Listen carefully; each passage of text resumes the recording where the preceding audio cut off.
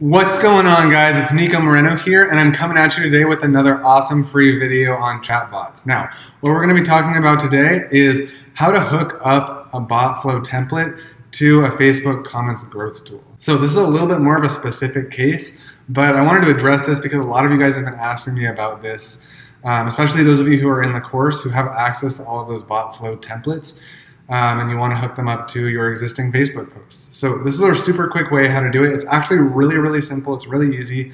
Um, the only thing is it's kind of hard to find where to do it in ManyChat. All right, so that's what we're gonna do. So before we move into the video today, make sure that you give this video a thumbs up if you like it, and be sure to hit the red subscribe button down below if you wanna get more awesome free content like this. All right, guys, let's get into it.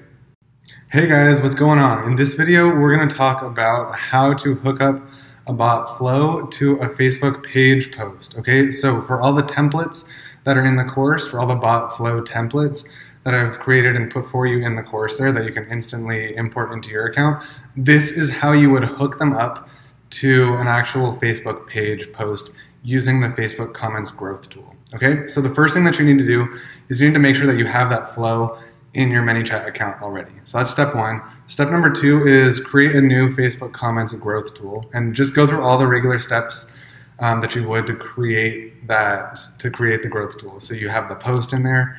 Um, you've already ideally you've already set all that stuff up. Okay, so this is the final step of um, when you're in the Facebook growth tool section. And what you would do is you click once you click on opt-in actions um, you just, it doesn't really matter. You just have to not have this one selected. So you can select either of these right here, um, whichever is going to fit your situation. And then what you would do here is you need to go into edit the opt-in message. Okay, so you got to click edit right here. Um, let's save this.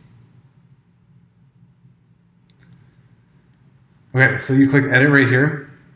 And then what you do is you edit this message. So this is going to be the first message. Whatever you wanted to say, you just um, you just edit that the way that you want, and then you do continue to another step. It's a little bit hard to see. It's kind of annoying, but you have to scroll down a little bit and then click continue to another step, and then you click choose next step, and then you click go to a flow, okay?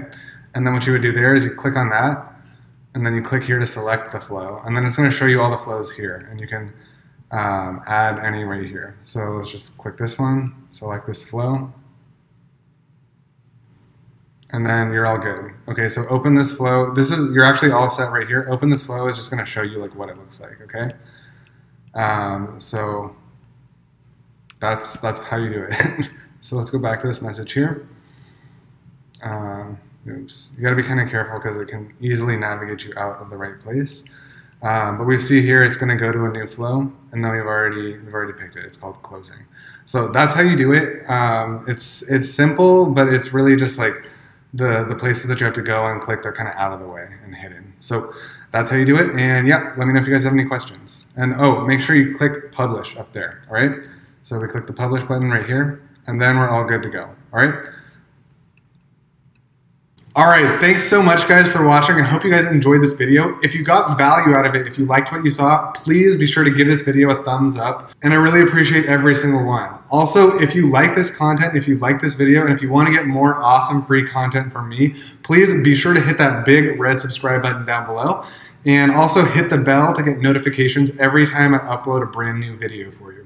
All right, thanks so much guys. And this has been Nico Moreno. I'll see you guys next time.